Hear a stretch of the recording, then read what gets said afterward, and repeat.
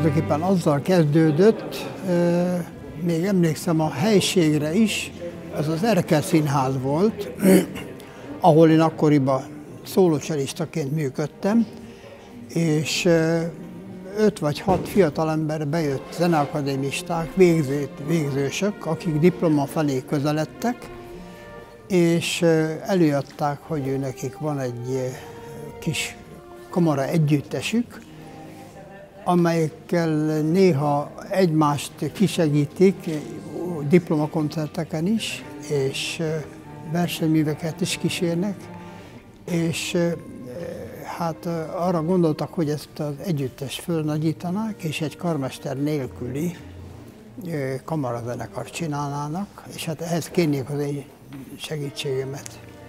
Úgyhogy ez így indult az első lépések, ezek voltak. Nem vagyunk specialisták a régi zenébe, de nagyon sokat átvettünk és tanultunk a historikus előadásmódból, de a hangszereink azok a, a modern hangszerek, ugyanis ha például külföldre megyünk, hát akkor tőlünk általában a Bartók divertimentot mindig szokták kérni.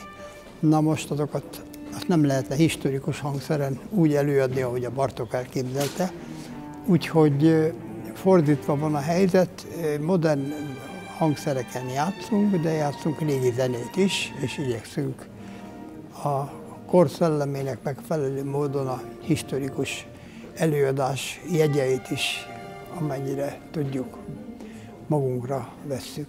Az együttes életkorához viszonyítva mm, kevés ideje vagyok itt. 2012 óta vagyok a koncertmester a budapesti vonósoknak, ami hát a 40 év viszonylatában valóban egy kis, kis szelet mindössze. Azért ez is egy külön hivatás, úgymond egy zenekart vezetni karmesteri pálca nélkül, illetve hát úgy vezetni egy zenekart, hogy közben az ember velük játszik, velük lélegzik gyakorlatilag. Ha mondjuk egy szimfonikus zenekar próbáiból indulunk ki, ahol ugye a karmester a abszolút mm, úgymond parancsnok, akkor azért ez itt nem egészen így van. Tehát ez egy, ez egy picit oldottabb, kötetlenebb. Gyakorlatilag egyfajta műhely munka folyik. Természetesen mindig van, aki kimondja az utolsó szót.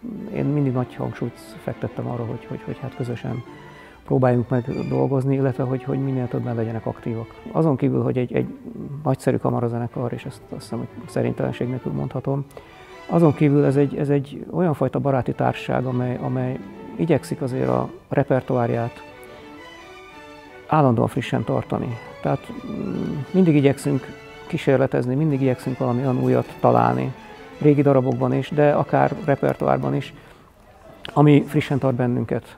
Tehát nagyon nem szeretnénk a rutinba elsüllyedni, nagyon nem szeretnénk egy, egy, egy olyan fajta járt úton járni, ami, ami, már, ami már semmiféle élményt és érzést nem ad a, a zenészeknek, ez mindig egy, egy valós veszély. Tehát mindig igyekszünk megőrizni valamit az együttes fiatalságában.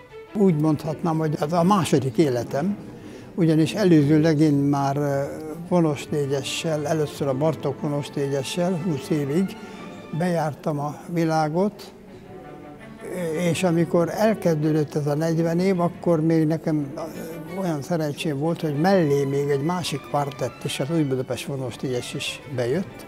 Azzal is 20 évig jártam a világot, tehát itt nagyon sok párhuzamosságok vannak, és hát akkor még arról nem is beszéltem, hogy tulajdonképpen nem sokára négy évtizedet tanítok a Zeneakadémián, és majdnem négy évtizedet muzsikáltam az operaházba is, és szólós elista voltam, úgyhogy ezek párhuzamosan szaladtak, de nagyon sűrű volt az életem.